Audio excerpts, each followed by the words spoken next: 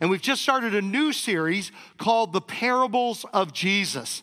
And I have asked, as, we, as we're launching into this new series, I've asked our Bible scholar in residence, Dr. Carl Toney. This has been Toney Day up here, okay? Pastor Lisa was just up here with Purple Hearts, and uh, she's married to Dr. Carl. And, um, and I've asked him if he would just give us an introduction to the overall subject of the parables, what to look for as we study the parables in this series. Would you please give a warm Purpose Church welcome to Dr. Carl as he comes uh, to share with us?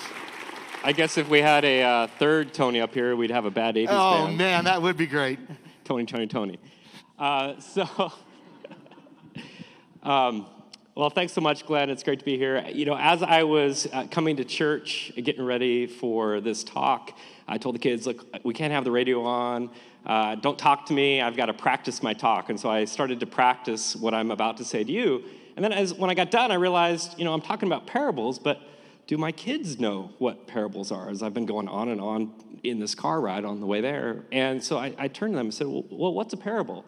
And Pax, my seven year old, said, Well, Dad, that's easy.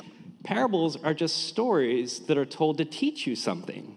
It's like, wow, that's it. Parables are just stories to teach you something. I said, Well, where did you learn that, Pax? He said, From Sunday school here at church.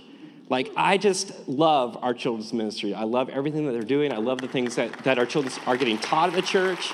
It's truly incredible. And that's it, something as simple as what Pax already captured for a parable. But I want to talk to you a little bit more than just, they're not just stories to teach you something, but there's a few things that we can look at parables to help us have a little deeper understanding of what they're about.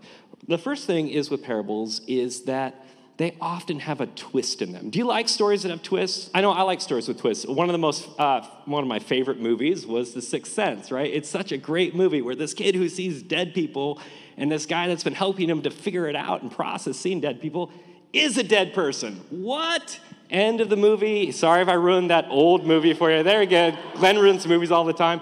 But that twist for us, that's what makes that story so brilliant. And what's great about the parables of Jesus is they often have a twist, a surprise in them that the hearers would not expect. And if you're feeling like parables are a bit stale for you, a little bit ordinary, it's like, ah, I've heard this one again. I want to encourage you to be surprised by Jesus and the parables because when he said them for the first time, people were shocked by what he had to say. And what's great about the parable that we're going to hear today is Glenn's going to talk to you about the shocking part of this, this parable. We still get shocked by it today, but you can look for those shockers in these parables. And I, I promise you that you will love to learn to wrestle with the parables when you start to hear how they shock you. The second thing about parables is that Jesus uses tangible things to talk about transcendent truth. Jesus uses the ordinary to talk about the extraordinary. He uses he talks about what it means to be a farmer, what it means to live in a city. He's talking about the experiences of a first century Jew. He's very relatable to the people in the first century because he's using and talking their language.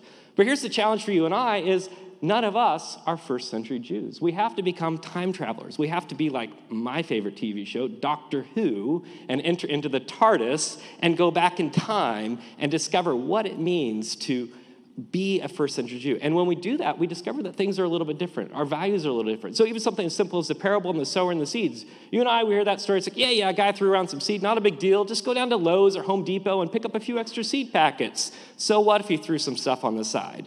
For a first century person, they would have been shocked by this farmer because a first century person only had a precious amount of seed that they had collected from the previous year's harvest. Their family's survival depended on making sure that every single seed that was sown in the ground came back with a harvest. Because if it didn't, it could mean that someone in their family was dead.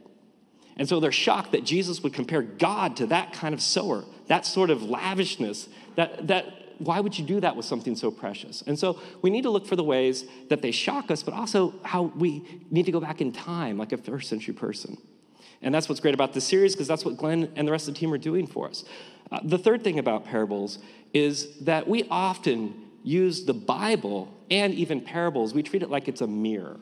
As if when we look at scripture, that it's giving insights to my life, to my family's life, to my community. We make the Bible about me how do I become a better person? How do I become a better father? How do I become a better employee? Now, there's, there's good things about that, but that's not what the parables are about. It's not what the Bible is about.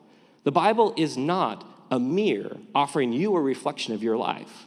The Bible is more like a set of glasses, offering clarity and insight into how the world works, and more importantly, who God is. And the fact is, is that in this world, we think that there's a lot of people in charge, don't we? Like in my family at home, sometimes I think I'm in charge, sometimes Lisa thinks we're in charge. Uh, sometimes she thinks she's in charge. Like, who knows who's going to be in charge? Or you go to your work and you think, who's in charge? My boss. Or we think about who's in charge of our city or our government. We often think about power structures and people being in charge. But what the Bible tells us, what Jesus tells us, is that we're really not in charge of our life, and other people aren't in charge of our life. God's in charge. And the parables remind us of what it looks like for the world that God is in charge and how our values and lives changed when we put God in charge of our lives. And they encourage us to remember that God's in charge. Whoa, Dr. Carl, thank you, sir.